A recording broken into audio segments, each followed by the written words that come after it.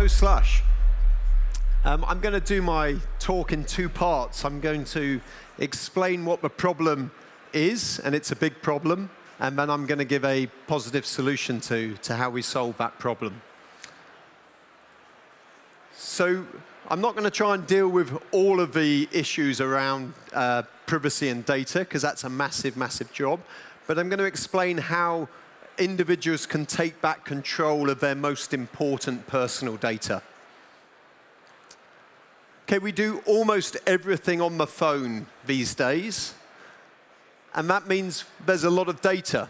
And sadly, with all of that data, it means there's a lot of fraudsters who are taking our data and putting it into websites on our behalf without our knowledge. And that's a big problem for websites, and it's a big problem for individuals.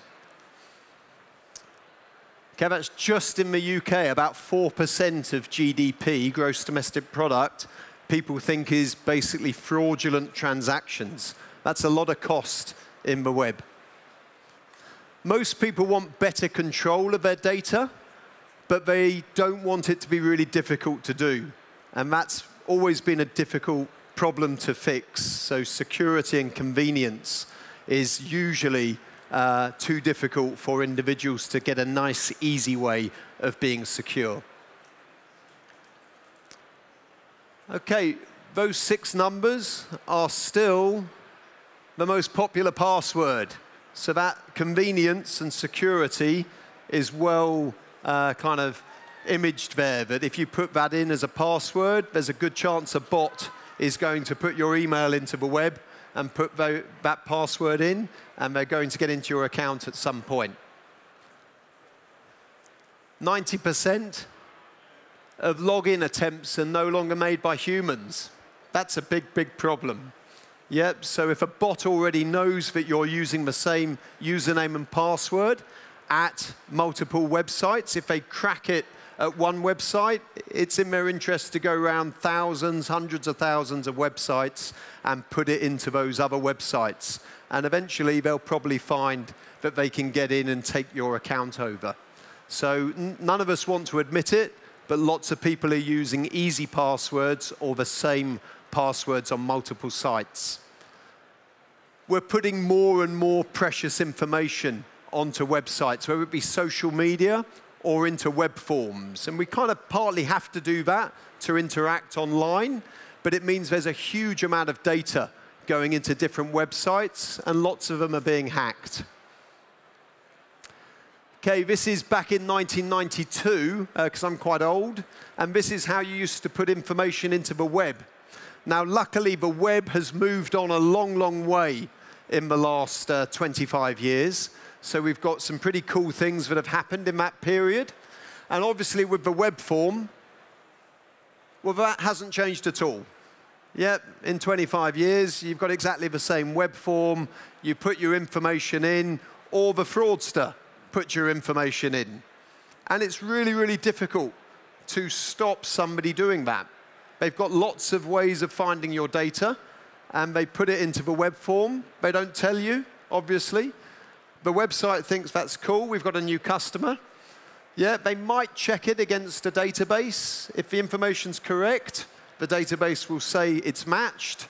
I still don't know that it's me that's had this information put in, but effectively it doesn't work. It's a broken system, and increasingly it won't be a reliable way for businesses to think that they're interacting with a person. That's obviously something we've all heard about recently. So obviously that's a very important website. It keeps a lot of precious information for all of us, uh, or for certainly lots and lots of people. And unfortunately, it was hacked. So I'm never going to be able to change my date of birth. I'm probably not going to change my name. Probably not going to change my address too often, just because that information is now hacked and is sellable online. So I can't really do much about that. And that ends the first depressing part of my talk. Yeah, because these problems haven't gone away, and nobody's really solved how you can take back ownership of your data if lots and lots of other people have also got access to it. So we, three years ago, went out to lots of individuals and said, well, how do you think we could solve this? How, how would you like this to work? And actually, they told us pretty clearly what the solution was. And it's wrapped up in six words. So they said, we want to have a voluntary way of basically having our own digital identity. We want to own it. We want to control it. We don't want anybody else controlling it. We want to control it. We want it to be private, so nobody else can see what we're doing unless we choose to interact with them. And we want it obviously to be very secure. And last but not least, we need to be able to trust that that is how the solution will work. And a lot of people said, you know, it's a lovely ideal way we'd like it to work. It's, it's basically how people trust that they can get into countries with this passport. But most said, you know, we don't think it's going to happen.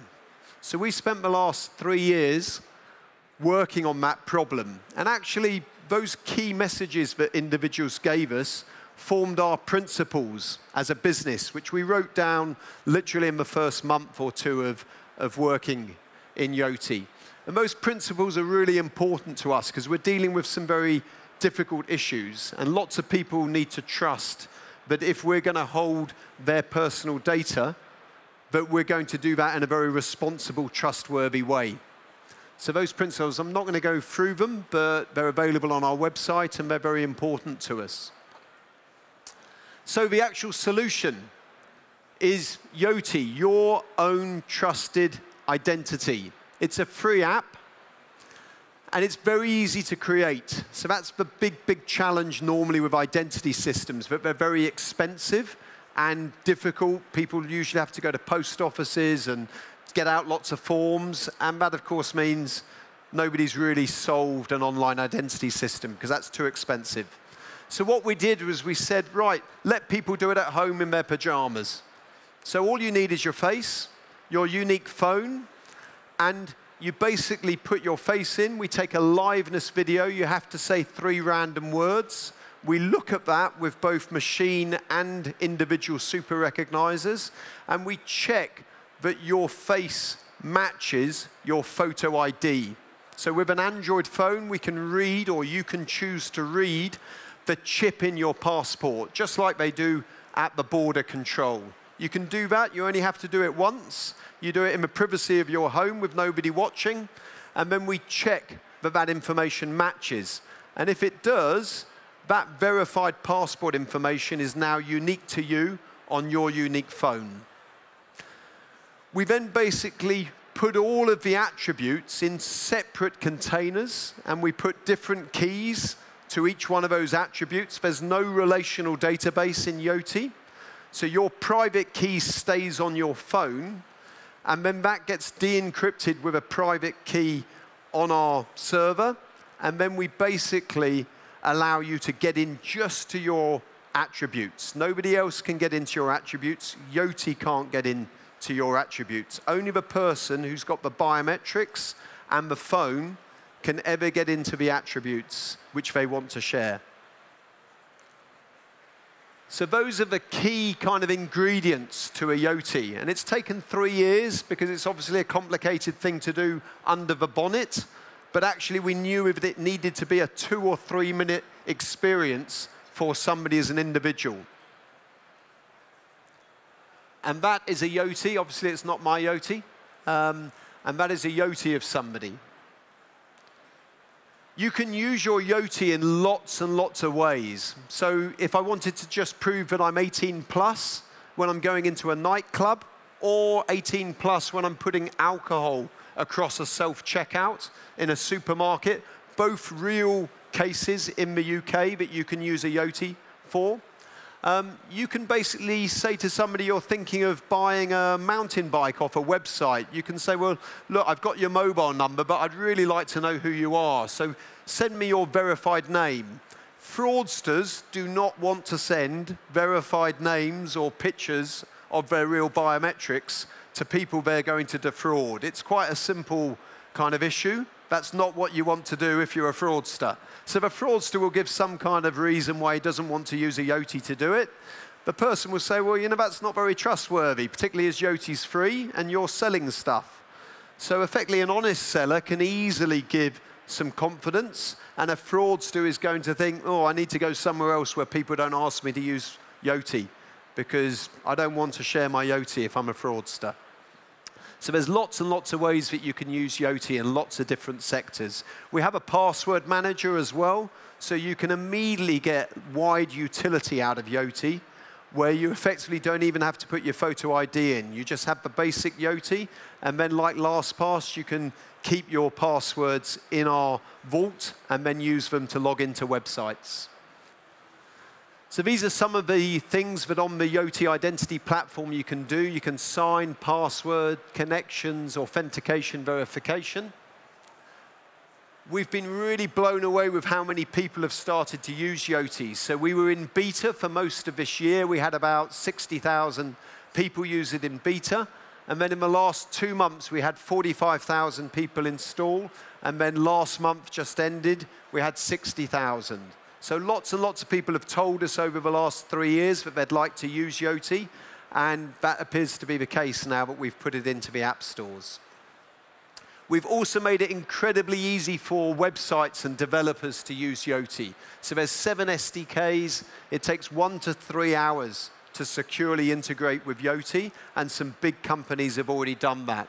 And then you can also download it in plugin form, so WordPress, Joomla, Drupal, particularly popular websites. And you know, if you'd like to talk to me at some point afterwards about Yoti, I'd love to talk to you. Thank you very much.